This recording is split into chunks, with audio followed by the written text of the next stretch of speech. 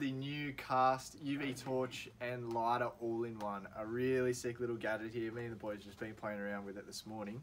All you have to do is just flip that latch down, press that button that flips open. Now you've got a very accurate uh, electric lighter there, which you can burn straight through the old 300 pound without spilling over onto your main lines, cutting, you know, burning straight through your main line or your fresh F- FG that you just spent two and a half minutes doing.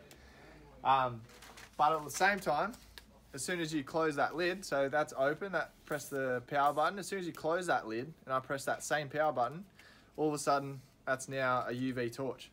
So whether you light up your jigs, light up your UV resins for your fly fishers doing um, a fly tying, all it is, charge it with a USB in your laptop, in your phone charger, and um, and it comes with a lanyard as well. So USB and a lanyard, ready to go. Lighter UV torch all in one. 40 bucks. Frothy.